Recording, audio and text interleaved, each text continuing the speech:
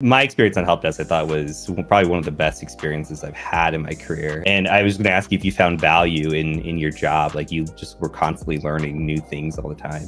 Yes, one hundred percent. Like there was always when you have problems, it's always feels like it's always something new to to learn or to troubleshoot. Um, so yeah, like it was it was very beneficial, and that was kind of how I somewhat made a transition from being directly in like an engineering field more into IT and tech. That was what kind of like sparked that for me in my career.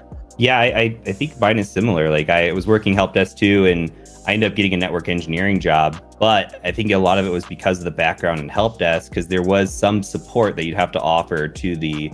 We were designing and, and implementing networks for customers, so you would still have to support them if there were there were network issues. So having that customer service and that experience really was was incredibly useful.